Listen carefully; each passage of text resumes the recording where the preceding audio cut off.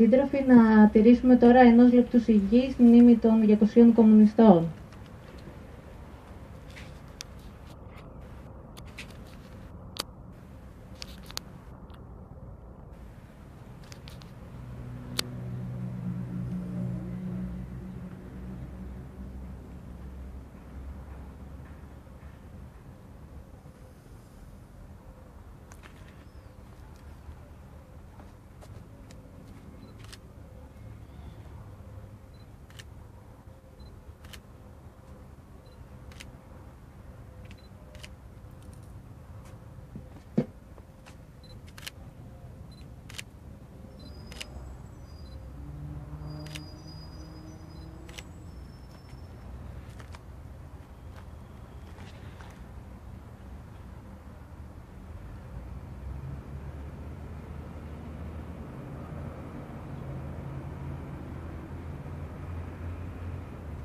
Αθάνατοι.